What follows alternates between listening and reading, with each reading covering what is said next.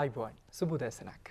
අද්‍රනි නංගිමල්ලිය අපි හමුවන්නේ රූපවාහිනී ජාතික පාසලෙන්. ඔබ දන්නවා සඳුදා දවස් අපි වෙන් කරන්නේ ඉතිහාසයේ විෂයට. ඉතිහාසයේ විෂයත් එක්ක විෂය කරුණු ඔබත් එක්ක බෙදා හදාගෙන තමයි අදත් අපේ බලාපොරොත්තුව.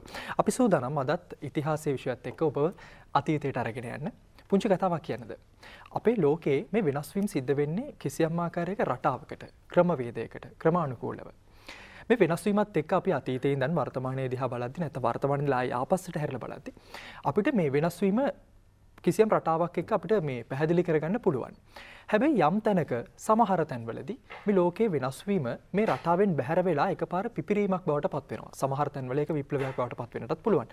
අපි විප්ලවයන් පිළිබඳව අහලා තියෙනවනේ. දේශපාලනික වශයෙන් වෙන්නට පුළුවන්, රටවල් අතර වෙන්න පුළුවන්, යුදමය වශයෙන් වෙන්නට පුළුවන්. මේ කොහොම නමුත් ඉතිහාසයේ එක්තරා තැනක මිනිස්සු ශ්‍රමය එක්ක වැඩ කරපු මිනිස්සු අතපය හසුරලා වැඩ කරපු මිනිස්සු යන්ත්‍රෝපකරණ භාවිතා කරන්න පටන් ගන්න කාල සමයක් එනවා. මෙන්න මේ පිපිරීමත් එක්ක තමයි අද අපි මේ ඉතිහාසයේ පාඩම ඔබට සමීප කරන්න බලාපොරොත්තු වෙන්නේ. අද අපේ මාතෘකාව මොකක්ද බලන්න. අපේ මාතෘකාව තමයි කාර්මික විප්ලවය.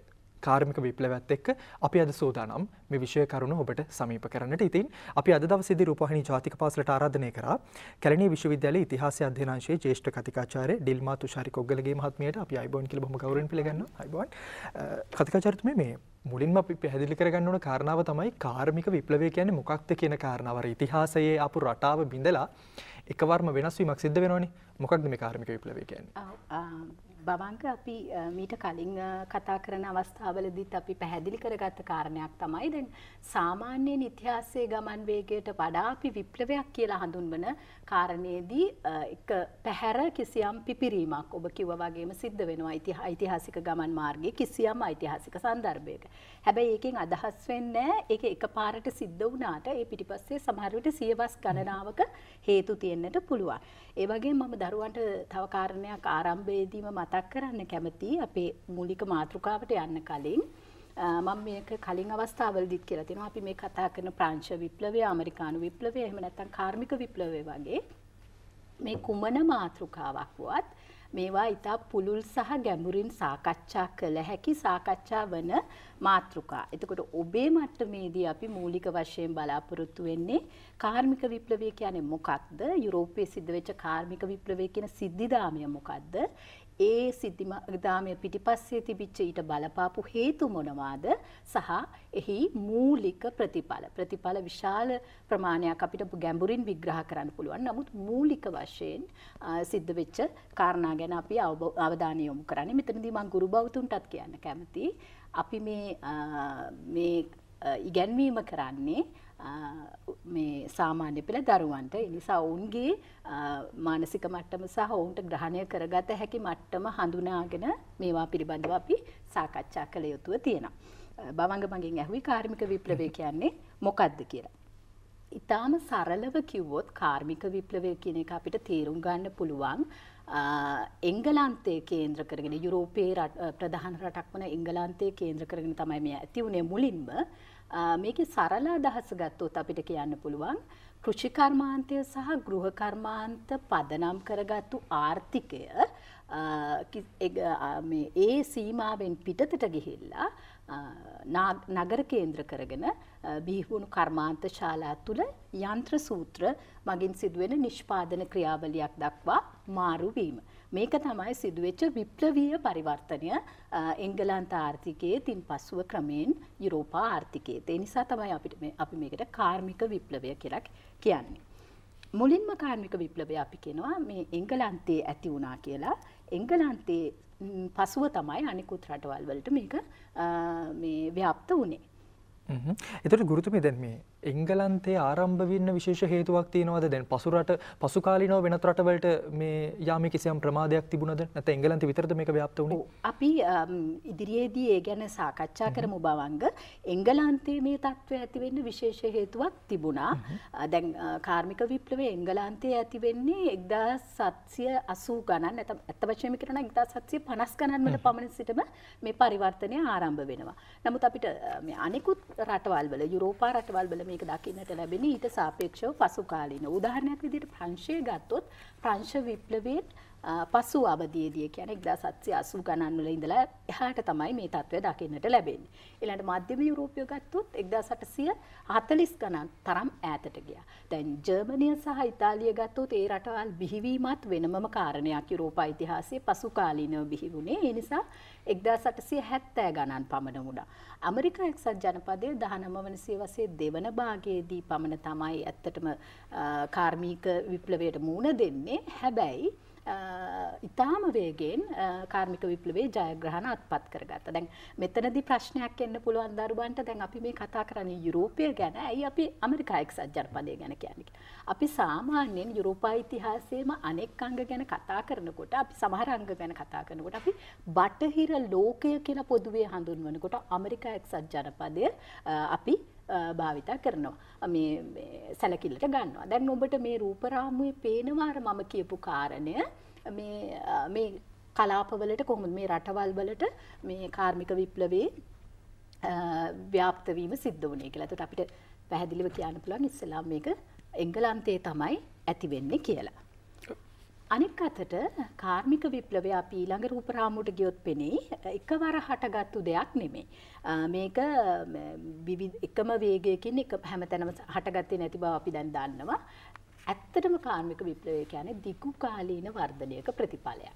මේ නිසා මේ පසුබිමෙහි විවිධ හේතු තිබෙනවා. ඒ කියන්නේ සමහර හේතු ආසන්නතම හේතු වෙන්න පුළුවන්. සමහර ඒවා ඊට වඩා දීර්ඝකාලීන ඉතිහාසයක් තියෙන හේතු.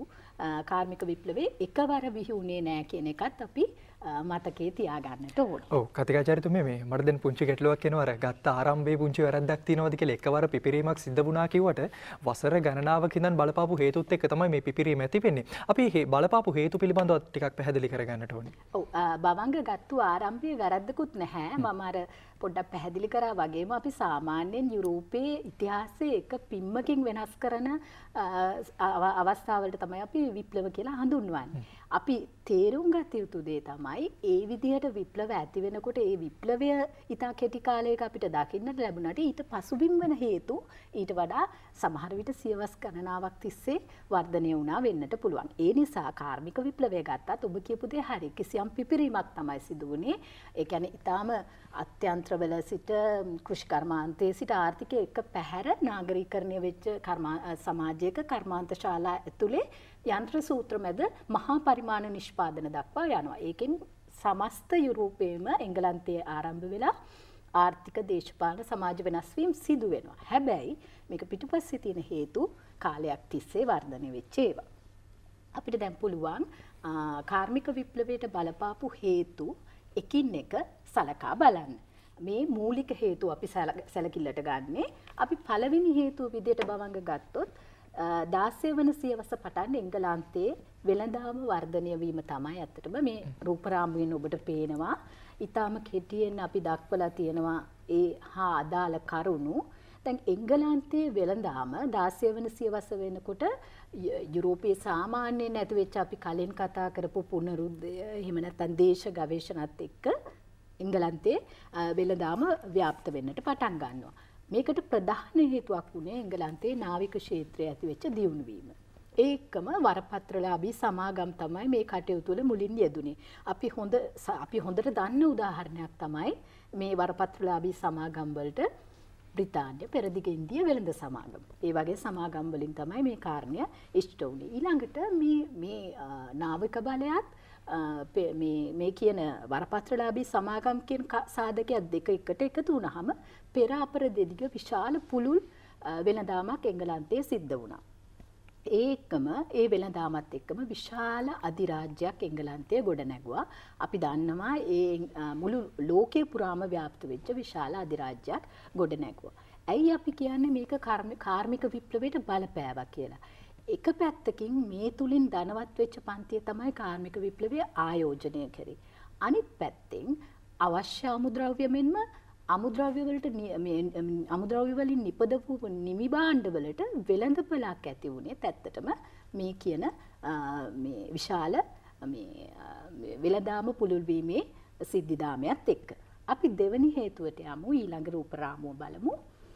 දෙවනි හේතුව විදිහට අපිට ගන්න පුළුවන් වටිනා ලෝහ සංචිත. ඇත්තටම කෙනෙකුට තර්ක කරන්න පුළුවන් මෙතනදී එංගලන්තයට වඩා වැදගත් වෙන්නේ ස්පාඤ්ඤය වගේ රටවල් කියලා. මොකද මුල් කාලීනව ඉඳලා වටිනා ලෝහ දකුණු ඇමරිකාව වගේ ප්‍රදේශවලින් ගෙනල්ලා ඒවායේ තිබිච්ච රන් රිදී විශේෂයෙන්ම ගෙනල්ලා මේ රටවල් වල ලෝහ සංචිත වටිනා ලෝහ සංචිත උන් වැඩි කරගත්තා. මේ තුලින් රටවල් ධනවත් වෙනකොට ඇත්තටම එයත් කාර්මික විප්ලවය සඳහා පදනමක් නැත්තම් පසුබිමක් සකස් කළා. එංගලන්තයටත් ඒක පොදු කාරණයක්. අපි තුන්වෙනි හේතුව විදිහට ඊළඟ රූපරාමුවට යමු. ඔබට දකින්න පුළුවන් ඇතැම් භාණ්ඩ සඳහා ඉල්ලුම් වර්ධනය වීම. මෙතනට හොඳම උදාහරණය තමයි කපුරෙදි. ජනගහනයේ ශනික වර්ධනයක් ඉතා පුළුල් වර්ධනයක් මේ කාලය වෙනකොට සිද්ධ වුණා. ඒ වගේම එංගලන්තයේ විශේෂයෙන්ම කපුරෙදි වගේ දේවල් වලට වැඩි ඉල්ලුමක් ඇති වෙන්නට පටන් ගත්තා. මේ ඉල්ලුම වැඩි වෙනකොට ඊට අවශ්‍ය සැපයුම ලබා දීමට අර අපි කලින් කියපු මට්ටමේ ගෘහ කර්මාන්ත තත්වෙන් ඒක කරන්න බැරි වුණා. ඒ නිසා තමයි අනෙකුත් සාධක එකතු වෙලා කාර්මික විප්ලවේ අර ගෘහ කර්මාන්ත මට්ටමින් කර්මාන්ත ශාලා සඳහා මේ නිෂ්පාදන ක්‍රියාවලිය තල්ලු වුණේ. වැඩිවන ඉල්ලුමට සැපයුම ලබා දෙන්න නම් නිෂ්පාදන ක්‍රියාවලිය වේගවත් කරන්න සිද්ධ වුණා. එතකොට ඒ වේගවත් කිරීම කාර්මික විප්ලවය ඉදිරියට තල්ලු කළා කියන්න පුළුවන්. අපි ඊළඟ රූපරාමුවට යමු. එහිදී ඊළඟ හේතුව ගැන අපි කතා කරන්න පුළුවන්. එංගලන්තයේ හටගත් විද්‍යා හා තාක්ෂණික දියුණුව. ද මේ ගැන අපි පුනරුදේ ඉඳලාම කතා කරා. පාලොස් වන සියවසේ ඉඳලාම ඇතිවෙන බුද්ධිමය චින්තනමය විද්‍යාත්මක හා තාක්ෂණික දියුණුව යුරෝපය පුරා විස්තරණය වෙමින් තිබුණා. එංගලන්තේත් මේ තත්ත්වය භාවිතයට ගත දැන් බලන්න මේ Nicolaus Copernicus Galileo Galilei Isaac Newton කියන අය ගැන අපි කතා කරන්නේ පුනරුදය යුගයත් එක්ක. දරුවෝ දන්නවා පුනරුදය ගැන අපි කලින් කතා කරලා තිබෙන නිසා පුනරුදය ඇතිවෙච්ච ඒ අය මේ පදනම් කරගෙන ඇතිවෙච්ච විද්‍යාත්මක ඥානයේ වර්ධනය තාක්ෂණික අංශයේත් දියුණුවට හේතු වුණා. එතකොට මේ කාරණා මේ විද්‍යා හා තාක්ෂණ දියුණුව එංගලන්තයේ අවශෝෂණය කරගන්නට පුළුවන් කණ්ඩායමක් හිටියා. ඒ අය නිසා එංගලන්තය තුළ මේ නව නිපැයුම් සඳහා අවශ්‍ය පසුබිම සකස් වුණා. 1750 ගණන් වෙනකොට මේ తත්වය අපිට දකින්නට ලැබෙනවා. අපි ඊළඟ රූපරාමුවට යමු. ඊළඟ රූපරාමුවේ නැත්තටම පෙන්වා දෙන්නේ ඊළඟ හේතුව ආයෝජනය ඉලක්ක කරගත් ධනවත් පන්තියක් බිහිවීම. දැන් මේ අවශ්‍ය පසුබිම තිබුණත් යන්ත්‍ර සූත්‍ර හදන තාක්ෂණය තිබුණත් මේවාට ආයෝජනය කරන්න පුළුවන් ධනපති ධනවත් පන්තියක් හිටියේ නැත්නම් මේ තත්ත්වය වෙනස් වෙන්නට තිබුණා. එංගලන්තයේ අර අපි කලින් කිව්වා වගේ යටත් විජිත වෙළඳ කටයුතුත් එක්ක ධනවත් වූ පිරිසක් හිටියා. මේ මධ්‍යම පාන්තික කණ්ඩායම අපි සාමාන්‍යයෙන් ඔවුන් හඳුන්වන වාණිජ මධ්‍යම පන්තියක්. ඔවුන් උත්සාහ කළා මේ කාර්මික විප්ලවයේ එන ජයග්‍රහණ වලට නැත්නම් සොයා ගැනීම වලට නව සොයා ගැනීම වලට අනුග්‍රහ දක්වන්න. එපමණක් නොවේ ඔවුන් එඩිතර වුණා. ඒ ඒ නව සොයා ගැනීම නිෂ්පාදන කාර්යාවලිය සඳහා යොදා ගන්න යන්ත්‍ර සූත්‍ර යොදාගෙන ඒ අවදානම ගන්නට ඔවුන් ඉදිරිපත් වුණා. ඉතින් ඒකත් එක හේතුවක් වුණා. කතිකාචාර්යතුමනි මේ එතනදී පුංචි ගැටලුවක් ඇති වෙන්න පුළුවන් සමහරලාට දුවෙක්ට පුතෙක්ට මේ දැන් ශ්‍රමය කියන කාරණාව ශ්‍රමය කියන සාධකයේ මේ සඳහා බලපෑවීම නැද්ද කියන දේ. අපිට දෙන්න උත්තරයක් තියෙනවා. අනිවාර්යයෙන්ම බලපෑවා බවංග. අපිට ඊළඟ හේතු විදිහට ඇත්තටම ශ්‍රමය කියන කාරණේ ගන්න පුළුවන්. අපි යමු ඊළඟ රූපරාමුවට. මේ රූපරාමුවෙන් ඔයගලන්ට පේනවා ඊටාම මේක මතක තියාගන්නත් හරි ලේසි. ලාභ සහ සුලභ ශ්‍රමය. මේ කාලය වෙනකොට එංගලන්තේ මේ කොන්දේසිය සපුරාගෙන තිබුණා ජනගහනයේ වර්ධනයත් එක්ක නගරවලට සංක්‍රමණය වෙන පිරිස වැඩි වුණා. ඔවුන් රැකියාවල් සොයාගෙන ආවේ. මේක කාරණා දෙකක් උඩ සිද්ධ වුණා. මිට ටිකක් කලින් සිද්ධ වෙච්ච ඉඩම් කොටු කිරීමේ ව්‍යාපාරයත් එක්කත් ගොවි බිම් වලින් ඉවතට තල්ලු වෙච්ච ගැමි ගොවි ජනතාවත් නගරවලට තල්ලු වෙන්න පටන් ගත්තා. එතකොට ඔවුන් රැකියාවල් හොයාගෙන ආවා. ඔවුන් රැකියාවල් හොයාගෙන ආවා කියන්නේ Tamanගේ ශරීර ශක්තිය මේ මුදලට විකිණීම තමයි ඔවුන්ට කරන්න පුළුවන්කම තිබුණේ. ඒ නිසා ඔවුන් මේ නව කර්මාන්ත ශාලාවල මේ රැකියාවලට යොමු වුණා. ඉතින් ඊටාම අඩු මේ පිරිවැයක් දරලා මේ ව්‍යාපාරිකයන්ට නැත්නම් ආයෝජකයන්ට ඉතා සුලභව ශ්‍රමය ලබා ගන්නට පුළුවන් වුණා. ඒකත් මේ නිෂ්පාදන ක්‍රියාවලිය වේගවත් කිරීමට හේතුවක් වුණා. තත් ඊළඟට එන හේතුව තමයි අමුද්‍රව්‍ය. අමුද්‍රව්‍ය කියන එක අපි ඊළඟ රූපරාවේ රාමුවෙන් බලමු මේක දෙවිදියකට ලැබුණා. එංගලන්තය කියන්නේත් කිසියම් ප්‍රමාණයකට සාපේක්ෂව සම්පත් බහුල රටක්. ඒ රටේ නැත්තටම යපස් හා ගල්ලංගුරු වගේ දේවල් රට තුලින්ම ලබා ගන්න පුළුවන් වුණා. තාක්ෂණය දියුණු වෙනකොට ඒවා සොයා ගැනීමත් පහසු වුණා. නමුත් ඊටත් වඩා එංගලන්තයට තිබිච්ච වාසිය තමයි දැන් කපු වගේ මේ අමුද්‍රව්‍ය ඔවුන් Tamanගේ යටත් විජිත වලින් ගෙන්නුවේ. යටත් විජිත වලින් ඊටාම පහසුවෙන් සහ ඊටා ලාභයට ඔවුන්ට මේ අමුද්‍රව්‍ය මහා පරිමාණයෙන් ලබා ගන්න පුළුවන් වුණා. ඒකත් කාර්මික විප්ලවය ඇතිවීමට හේතුවක් වුණා. දැන් ඔව් ගුරුතුමී මේ මේ දැන් අර මම කලිනුත් අහපු ප්‍රශ්නයක් තමයි මේ එංගලන්තේ විතරද කාර්මික විප්ලවය ව්‍යාප්ත වුණේ කියන කාරණාව. ඒකට ඔබතුමගෙන් පිළිතුරක් ලැබුණේ නැහැ. එංගලන්තේ ආරම්භ වුණා සහ ඉන් අනතුරුව ව්‍යාප්ත වුණ අනිකුත් රටවලට. මේ එංගලන්තේ ආරම්භ වෙන විශේෂ හේතුවක් තියෙනවද කාර්මික විප්ලවය? අපි ඒකට එන්න ඉස්සර ආපහු දරුවන්ට කෙටියෙන් මේ පසුබිම් වූ කාරණා ටික මතක් කරගෙන යන්න. අපි පළවෙනි කාරණය විදියට ගන්න පුළුවන් 16 වෙනි සියවසේ පටන් එංගලන්තයේ ඇතිවිච්ච වෙළඳාමේ ව්‍යාප්තිය. දෙවන කාරණය වටිනා ලෝහ සංචිත පවත්වාගෙන යාම. තුන්වෙනි කාරණය ඇතැම් බාණ්ඩ සඳහා වූ ඉල්ලුමේ වර්ධනය. හොඳම උදාහරණය කපුරෙදි. හතරවෙනි කාරණය එංගලන්තයේ හටගත් විද්‍යා හා තාක්ෂණික දියුණුව. අපි පස්වෙනි කාරණය විදිහට ගත්තේ ආයෝජනය ඉලක්ක කරගත් ධනපති පන්තියක් බිහිවීම ධනවත් පන්තියක් බිහිවීම. ඊළඟට හයවෙනි කාරණය විදිහට අපි ගත්තේ ලාභ සහ සුලභ ශ්‍රමය. හත අමුද්‍රව්‍ය. එතකොට මෙන්න මේ මූලික හේතු විදියට ගන්න පුළුවන් අපිට මේ කාරණා සපුරා තිබීම. දැන් බවංග මගෙන් ඇහුවා එංගලන්තයේම ඇයි මේක මේ විදියට වුණේ? ඇත්තටම ඊටාම සරල උත්තරය තමයි බවංග. දැන් මේ කියපු හේතු ඔක්කොම එංගලන්තයේ එක අවස්ථාවේදී දකින්නට ලැබුණා. දැන් සමහර යුරෝපා රටවල් වල අඩු වැඩි වශයෙන් මේවා වෙන වෙන දකින්න ලැබෙන. සමහර එක හේතුවක් හෝ දෙකක් එක තැනක තියෙන්න පුළුවන්. තව තැනක එක කාලයකදී එක හේතුවක් තියෙනවා අනිත් හේතුව අනිත් කාලයේදී තියෙනවා. දැන් මේ කියන විප්ලවීය తත්වය ඇති කරගන්න නම් කාර්මිකාංශයේ මේ සියල්ල එකට එකතු විය යුතුව තිබුණා. අර කියන පසුබිම් හේතු. ඊට අමතරව මේ රූප රාමුන් දිහා බලන්න දරුවන්ට තේරෙයි මේ කාරණා කීපයක් තියෙනවා එකවර එකට සිදුවිය යුතු. දැන් අපිට මේක මෙහෙම කියන්න පුළුවන්. එංගලන්තයේ කාර්මික විප්ලවය ඇතිවීමට මුලින්ම ඇතිවීමට මෙන්න මේ දක්වන කොන්දේසි ටික එකවර සිදුවීමක් දකින්නට ලැබුණා. මොනවද මේ කොන්දේසි? සාර්ථක විදේශ වෙළඳාමක් තිබුණා. යටත් විජිත අධිරාජ්‍යයක්, විද්‍යා හා තාක්ෂණික දියුණුවක්, ධනවත් වාණිජ මධ්‍යම පන්තියක්, ප්‍රසාරණය වෙමින් පැවති වෙළඳපළක්. ඒ කියන්නේ ඉල්ලුම වැඩි වෙන වෙළඳ ගනුදෙනු කටයුතු වැඩි වෙන ප්‍රසාරණය වෙමින් තිබිච්ච වෙළඳපළ. එතකොට මේ කොන්දේසි සියල්ල එකවර සැපිරූ නිසා තමයි බවංග අනෙකුත් යුරෝපා රටවල් වලට කලින් එංගලන්තයේ කාර්මික විප්ලවය ඇති වුණා කියලා අපි සලකන්නේ. ඕ දැන් අපි ඔබත් එක්ක කතා කරේ ආදරණී නංගිමල්ලියේ කාර්මික විප්ලවයේ ආරම්භය සහ හි පසුබිම් වෙච්ච කාරණා. දැන් අපි කතා කරන්න ඕනේ මේ විප්ලවයේ ව්‍යාප්ත වෙච්ච ආකාරය සහ විප්ලවය කොහොමද මේ ලෝකයේ පුරාම පැතුරුනේ කියන කාරණාව. කතිකාචාර්යතුමේ කොහොමද මේ විප්ලවය එංගලන්තයේ ආරම්භ වෙලා සෙසු රටවලට ව්‍යාප්ත වෙන්නේ? ඔව්.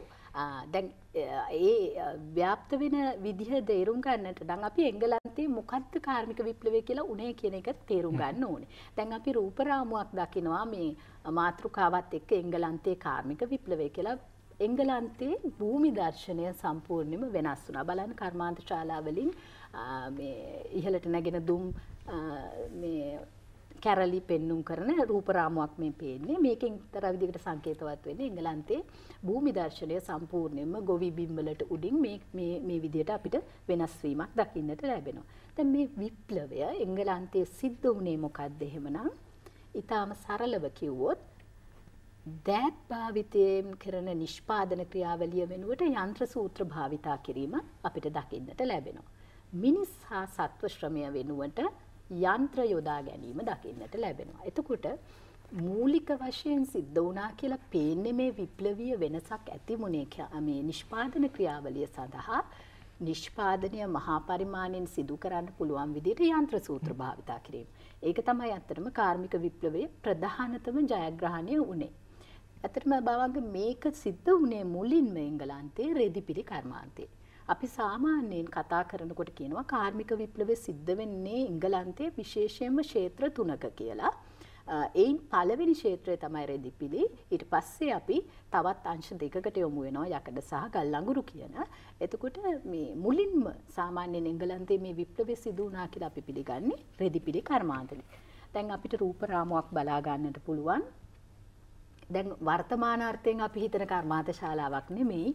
මේ බලන්න මේ මේ රූප රාමුවෙන් පෙන්වුම් කරන්නේ ඇත්තටම එංගලන්තයේ මේ රෙදිපිලි කර්මාන්ත ශාලාවක රෙදිපිලි රෙදි වියන කර්මාන්ත ශාලාවක දර්ශනයක්. එතකොට මේකෙන් පේනවා මේ මේ ගෘහස්ත මේ ගෘහ කර්මාන්තයක් විදියට කරගෙන ගිය මේ මේ රෙදි විවීමේ කටයුතු කොහොමද කර්මාන්ත ශාලාවට මාරු වෙලා තියෙන්නේ කියලා. දැන් මේ කාර්යයේදී විශේෂ සොයා ගැනීම් කීපයක් වැදගත් වෙනවා. ඒ විශේෂ සොයා ගැනීම් රෙදිපිලි කර්මාන්තයේ වේගවත් කිරීමට රෙදිපිලි නිෂ්පාදනය ඒ කාර්මිකරණය වීම වේගවත් කිරීමක් සිදු වුණා. අපි බලමු ඊළඟ රූප රාමුව. දැන් මේකට කියනවා මේ ජෝන්ගේ 1733 දී මේක හොයාගත්තා කියලා කියන්නේ නිෂ්පාදනය නිර්මාණය කළා කියලා. මේකට අපි කියනවා දුවන නඩාව කියලාත් කියනවා සැලෙන නඩාව කියලාත් කියනවා. එතකොට මේ ෆ්ලයිං ෂටලය මේ මේ මේකෙන් සිදු වුණේ ඇත්තටම මේ රෙදිපිලි වියමන වේගවත් වුණා. නමුත් එතකොට ප්‍රශ්නයක් මතුවුණා. ඒ සඳහා අවශ්‍ය නූල් ප්‍රමාණය සැපෙවුම වේගවත් කරන්නට වුණා. අපි ඊළඟ රූපරාමුවට යමු. එතකොට කටින ජෙනිය නැත්තම් ස්පිනිං ජෙනිය කියලා කියනවා 1767 වෙනකොට ජේම්ස් හාග්‍රීව්ස් මේක සොයා ගන්නවා. මේ මේකෙන් එකවර නූල් 12ක් වගේ ප්‍රමාණයක් මේ නිර්මාණය කරන්න පුළුවන් කියලා කියනවා. මේ කටින ජෙනියෙන් අර දැන් රෙදි විවීම ඉක්මන් වෙනකොට ඒකට අවශ්‍ය නූල් ප්‍රමාණය සපයුමත් ඉක්මන් වෙන්න ඕනේ. ඒ වගේ පරිවර්තනයක් ඇති කරන්නට පුළුවන් වුණා. ඊළඟට ඊළඟට අපි පෙන්වන මේ ඊළඟ රූප රාමුවට යමු ජල රාමුව. ඊළඟ රූප රාමුව වාෂ්ප එන්ජිම.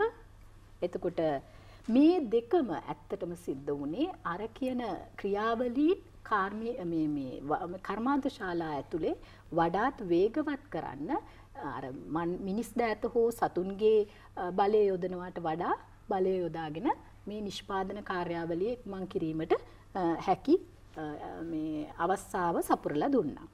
ඊළඟට කටින යන්ත්‍රය අපි ඊළඟ රූප රාමුවට යමු. කටින යන්ත්‍රයත් මේ වගේම වැදගත් සොයා ගැනීමක් කාර්මික විප්ලවයේ රෙදිපිලි කර්මාන්තය සම්බන්ධව.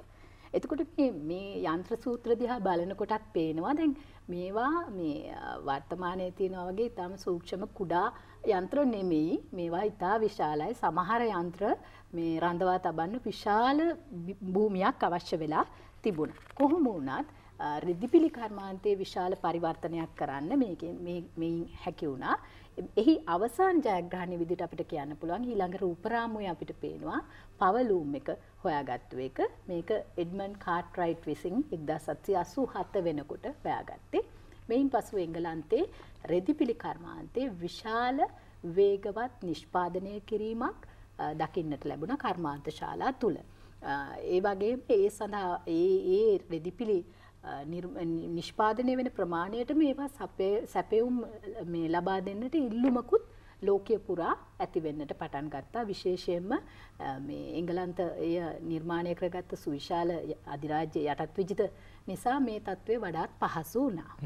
එංගලන්තේ මේ කාර්මික විප්ලව ව්‍යාප්තිය පිළිබඳව අපි කතා කරද්දී කතිකාචාර්යතුමිය පැවසුවා මේ රිදිපිලි කර්මාන්තය ඒ වගේම යකඩ සහ ගල් අඟුරු කර්මාන්තයත් එක්ක මේ වෙනස් වීම අපිට කතා කරන්න පුළුවන් කියලා.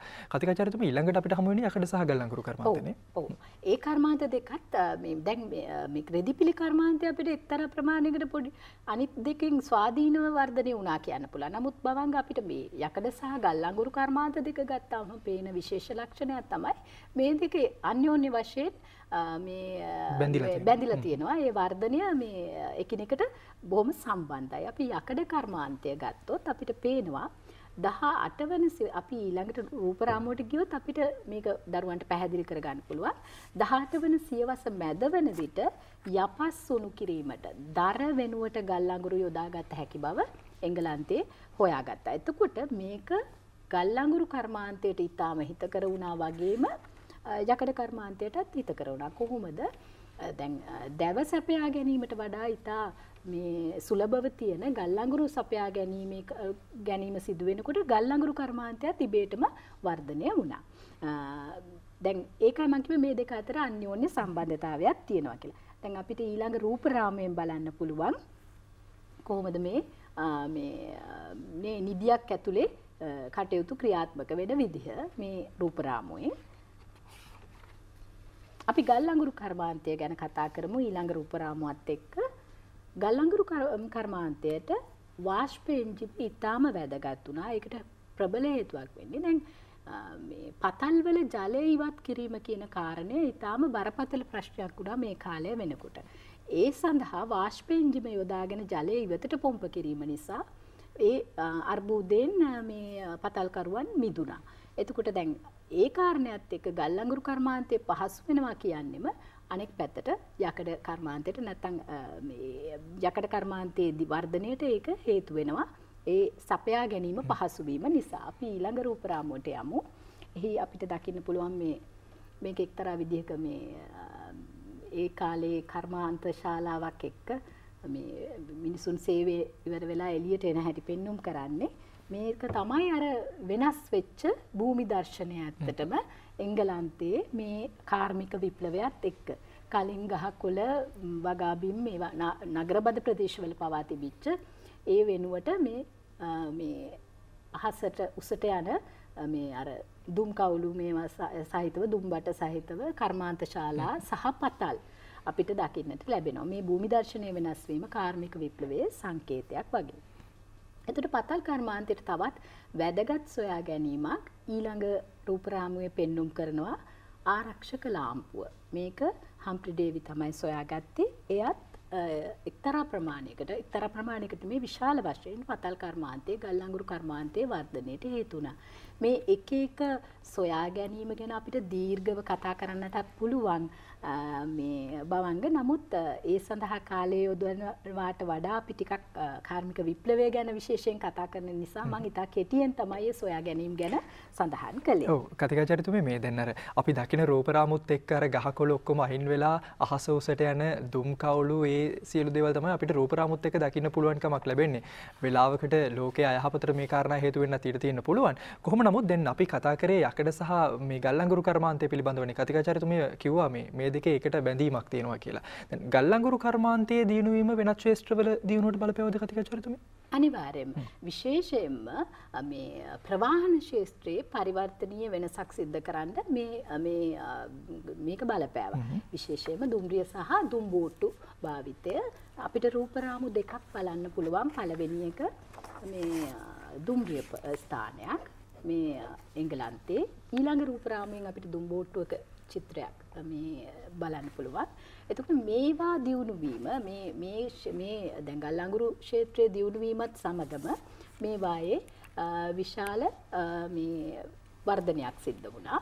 අපිට ඒක වැඩියක්ම පේන්නේ මේ දුම්රිය කර්මාන්තයේ. දැන් එහිදී තීරණාත්මක තවත් සොයා ගැනීමක් සිදු වුණා. අපි ඊළඟ රූප රාමුවට යමු. මේක හුඟක් වෙලාවට දරුවෝ හොඳට දන්න දෙයක්. ජෝර්ජ් ස්ටීවන්සන් වාෂ්ප බලයෙන් ක්‍රියා කරන එන්ජිම සොයා ගැනීම. මේ නිසා සිදුවනේ එත්තෙක් අශ්වයන් යොදලා ඇදගෙන ගිය මේ දුම්රිය මේවා එන්ජිම් වෙනුවට මේ දුම්රිය සඳහා වාශ්පේජිම භාවිතා කරන්නට පටන් ගත්තා. එතර මේකෙන් සාපේක්ෂ වේගයක් මේ දැරිය හැකි මේ ප්‍රමාණයක් මේ සියල්ල වැඩි වුණා දුම්රිය ක්ෂේත්‍රයේ විශාල පරිවර්තනයක් සිද්ධ වුණා. ඇත්තටම 1820 ගණන් වන විට අශ්වයන් වෙනුවට වාෂ්පේන්ජිම යොදා ගැනීම අපිට දකින්නට ලැබෙනවා එංගලන්තේ.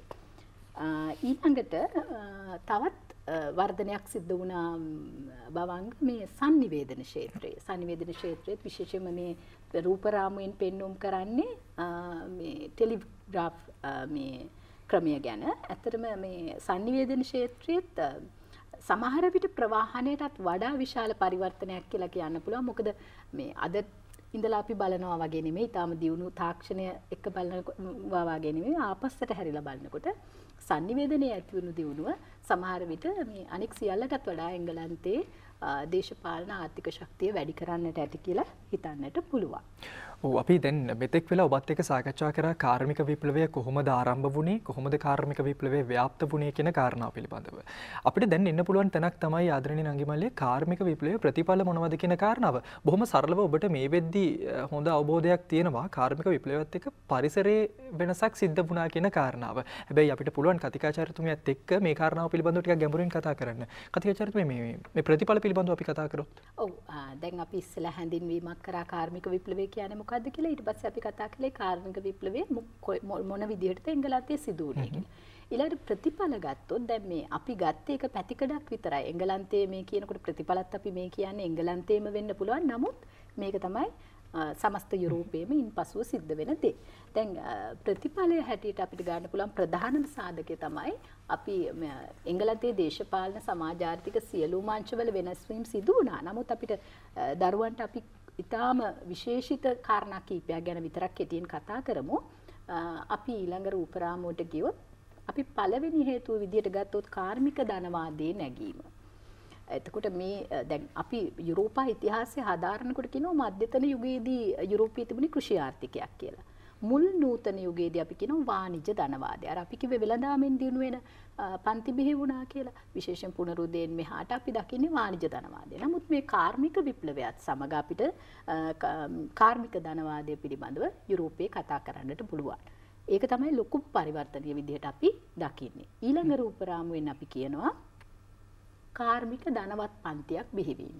අපි අර කලින් කියපු මේ වාණිජ ධනපති පන්තිය කර්මාන්තවල ආයෝජනය කරනවා. ඔවුන් ආයෝජනය කරලා එයින් ඔවුන් තවත් ආයෝජන සඳහා යොමු වෙනවා. ඔවුන් ඊටාම ධනවත් පිරිසක් බවට පත් වෙනවා. ඔවුන් එතන සිට අපිට හමු වෙනවා කාර්මික ධනපති පන්තියක් නැත්නම් ධනවත් පන්තියක් එංගලන්තයේ ඊට පසුව ක්‍රමයෙන් යුරෝපයේ අනිකුත් රටවල් කතිකචරතුම මේතනද අපිට විශේෂයෙන්ම කතා කරන්න පුළුවන්ද මේ අලුත් සමාජ පන්ති බිහි වෙන මේ කාල වකවානුවේ ඔව් දැන් එක විදිහකින් ගත්තොත් අපි කාර්මික ධනපති පන්තිය කිව්වා මේක එක්තරා විදිහකට වාණිජ ධනපති පන්තියෙම දිගුවක් වගේ වෙන්න පුළුවන්. බවන් ගහපු ප්‍රශ්නෙට හොඳ උත්තරයක් තියෙනවා. ඔව් ඇත්තටම මේයින් පස්සේ විශේෂයෙන් අපිට අපි කතා කරන කම්කරු පන්තියේ නැගීම දකින්නට ලැබෙනවා. නැත්නම් කම්කරු පන්තිය බිහිවීම විශේෂයෙන්ම ඊළඟ රූපරාමුව අපි චුට්ටක් බලමු.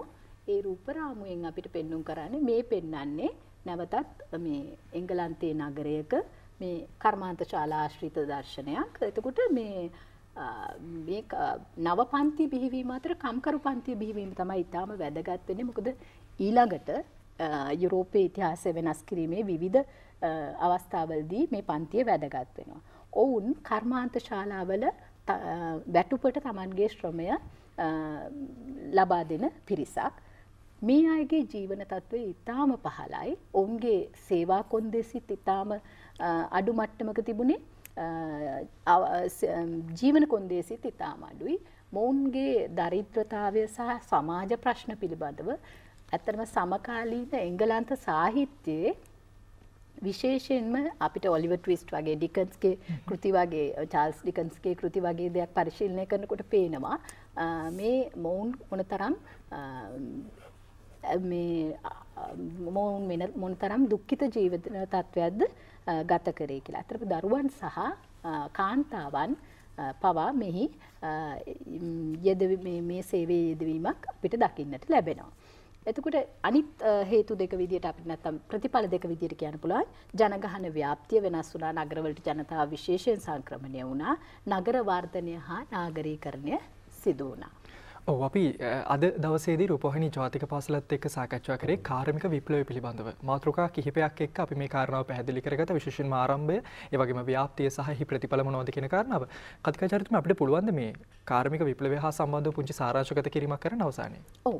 අපි ඊටාම කෙටියෙන් කිව්වොත් කාර්මික විප්ලවය කියලා කියන්නේ එක්දා සත්සිය පණහෙන් පමණ එහා එංගලන්තය මූලික කරගෙන පසුව යුරෝපය පුරා ඇතිවෙන පරිවර්තනය ගෘහ කර්මාන්ත සහ කෘෂි කර්මාන්තයේ සිට කර්මාන්ත ශාලා දක්වා මේ නිෂ්පාදන ක්‍රියාවලිය ව්‍යාප්තවීම.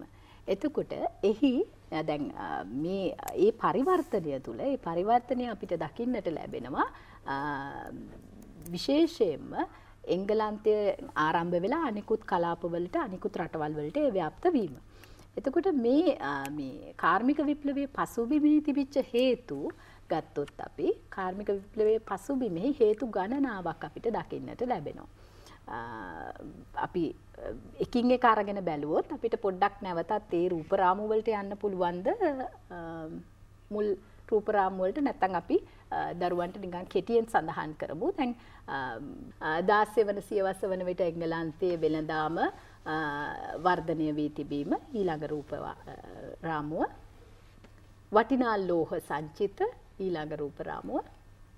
ඇතැම් භාණ්ඩ සඳහා ඉල්ලුම වර්ධනය වීම ඊළඟ රූප රාමුව. එංගලන්තයේ හටගත් විද්‍යා හා තාක්ෂණ දියුණුව ඊළඟ රූප රාමුව.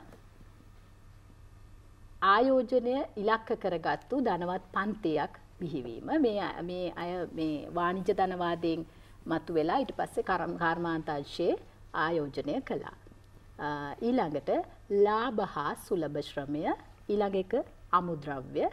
එතකොට මේ වගේ තත්වයක් තුල මේ මේ පසුබිමත් එක්ක අර කලින් බවන් ගැහුවා වගේ මේ සියලු කාරණා එකට එකතු වීම නිසා එංගලන්තයේ අනෙකුත් රටවල් වලට කලින් කාර්මික විප්ලවය සිදු වුණා කියලා අපි සඳහන් කරනවා. එයින් අදහස් වෙන්නේ යුරෝපයේ අනෙත් රටවල් වල මේ සාධක තිබුණේ නැහැ කියලා. මේවා අඩු වැඩි වශයෙන් වරින් වර මතුවුනේ එංගලන්තයේ තිබුණේ මේවා එක කොන්දේ කාර්මික විප්ලවයට අවශ්‍ය කොන්දේසි විදිහට අපි මේවා ගත්තොත් මේවා එකවර මේ එංගලන්තයේ මේ කාලය වෙනකොට අපිට දකින්නට ලැබෙනවා. එතකොට ඒ මත ඇති වෙච්ච විප්ලවීය වෙනස තුළ නිෂ්පාදන ක්‍රියාවලිය තුළ අපිට දකින්නට ලැබෙනවා ප්‍රධාන අංශ තුනක කාර්මික විප්ලවය සිදු වෙනවා එංගලන්තයේ. එනම් රෙදිපිලි කර්මාන්තය තමයි ආරම්භ වෙන්නේ. ඊට පස්සේ අපිට දකින්නට ලැබෙනවා යකඩ හා ගල් අඟුරු කර්මාන්තවල මෙම වර්ධනය. දැන් මෙතනදීත් අපි අර කලින් කතා කරා වගේ රෙදිපිලි අංශය තරමක් ස්වාධීනව වර්ධනය වුණා වගේ පේනවා. නමුත් යකඩ සහ ගල් අඟුරු කර්මාන්ත එකිනෙකට තරයේ බැඳී තිබෙනවා. මේ හා සම්බන්ධ විවිධ සොයා ගැනීම මේ ක්‍රියාවලිය ඉක්මන් කරපු සොයා ගැනීම ගැනත් අපි කතා කරා. ඒ වගේම ඊළඟට මේවායේ මේ විශේෂයෙන් ගල් අඟුරු කර්මාන්තයේ වර්ධනයත් එක්ක sannivedanaya සහ ගමනාගමනයේ වර්ධනයක් අපිට දකින්නට ලැබෙනවා. මේ විදිහට ගත්තාම කාර්මික විප්ලවය කියන එක එංගලන්තයේ ඇතිවන ජයග්‍රහණය මේ එංගලන්තයේ මේවා ඇති වෙනකොටම කිසියම් ප්‍රමාණයකට මේක යුරෝපයේ අනෙකුත් රටවල් වලට විසරණය වෙන්නට පටන් ගන්නවා. එංගලන්තයට ආසන්නයෙන් ඊට පස්සේ ප්‍රංශය වගේ රටවල් වලත් කාර්මික විප්ලවය අපිට දකින්නට ලැබෙනවා. ගුරුතුමිය අවසන් වශයෙන් අපිට පුළුවන්ද මේ අපේ දුවදරුවන්ට විභාගයේදී කාර්මික විප්ලවය හා සම්බන්ධයෙන් ප්‍රශ්න නිර්මාණය වෙද්දී ඔවුන් වැඩිපුර අවධානය යොමු කරන්න ඕනේ කොයි වගේ කාරණාවලටද කියලා පැහැදිලි කරගන්න. ඔව්. දැන් මේ මට්ටමේදී අපි අර කලින් කතා කරා වගේ මේ මූලික සැකැස්ම ගැන දරුවන් අවධානය යොමු කරනවා නම් වඩාත් හොඳයි. ඒ කියන්නේ කාර්මික විප්ලවය කියන්නේ මොකක්ද කියන එක තමයි පළමුව හඳුනා ගන්න ඕනේ. ඒ මේ හඳුනා ගැනීමෙන් පසුව එංගලන්තයේ කාර්මික විප්ලවය ඇතිවීමට හේතු මුලින් ඇතිවීමට හේතු නැත්තම් පසුබිම. ඊට පස්සේ අපිට මේ කාර්මික විප්ලවයේ සිද්ධිදාමය ගැන කතා කරන්න පුළුවන්. එහිදී රෙදිපිලි යකඩ හා ගල් අඟුරු කර්මාන්තය කෙරෙහි විශේෂ අවධානය යොමු කරන්න ඕනේ. ඊට පස්සේ එහි ප්‍රතිඵල ගැනත් යම් අවබෝධයක් තියෙන්න ඕනේ. මීට අමතරව දරුවන්ට ඉතාම වැදගත් වෙනවා මේ කාලය තුල ඇති වෙච්ච අර නව සොයා ගැනීම ගැන බවංග ඒ සොයා ගැන වර්ෂය සොයාගත්තු පුද්ගලයන් සහ ඒ නිර්මාණයේ නම සහ එහි ස්වරූපය කුමන අංශයකටද දායක වුණේ වගේ දේවල් දැනගෙන සිටීම වැදගත් වෙනවා. මේ සමහර මේ තොරතුරු නම් ඉතා බහුල වශයෙන් අන්තර්ජාලයෙන්ුත් ලබා ගන්න පුළුවන්. දරුවන්ට ඒ ප්‍රමාණවත් මේ මට්ටමේදී මම හිතනවා ඒ කාරණා පිළිබඳව අවධානය යොමු කිරීම ප්‍රමාණවත් කියලා. ඔව් අද අපේ මාතෘකාවුණේ කාර්මික විප්ලවය කියන කාරණාව අර ලෝකේ පවත්වගෙන ආපු රටාව එකවරම බිඳලා ඒ ලෝකෙ සිද්ධ වෙච්ච මහ විපර්යාසය පිළිබඳවයි අපි ඔබත් එක්ක සාකච්ඡා කරේ. අපි විශ්වාස කරනවා මේ මාතෘකාව පිළිබඳව හොඳ අවබෝධයක් ඔබට ලැබෙන්නට ඇති කියලා. ඉතින් මේ මාතෘකාව මේ පාඩම ඔබට සමීප කරන්න කියා දෙන්නට අද රූපවාහිනී ජාතික පාසලත් එක්ක සම්බන්ධ වුණේ කැලණිය විශ්වවිද්‍යාලයේ ඉතිහාසය අධ්‍යයන අංශයේ ජ්‍යෙෂ්ඨ කතිකාචාර්ය ඩිල්මා තුෂාරි කොග්ගලගේ මහත්මිය බොහොම ස්තුතිවන්ත වෙනවා. ඒ වගේම අපි ආයිබෝන් කියලා සමුදිනවා. ආයිබෝන්. ඉතින් ආදරණීය නංගි මල්ලි අපි අදට රූපවාහිනී ජාතික පාසලෙන් සමුගන්නටයි බලාපොරොත්තුව. ලබන සඳුදාත් තවත් අලුත් ඉතිහාසයේ පාඩමකින් අපි හමු වෙමු. අපි සමුගන්න මොහොතේ අපිට ප්‍රාර්ථනා කරනවා සුබ දවසක් වාසනාවන්ත අනාගතයක්. අයිබෝන්.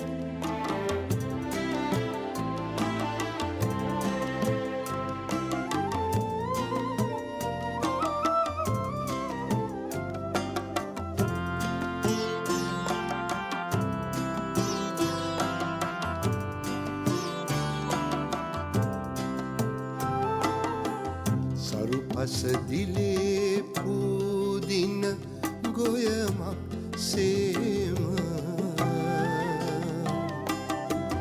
මසුරන් දෙරන ආකාසේ තරුසේම අත නොවෙහෙසා බඩකට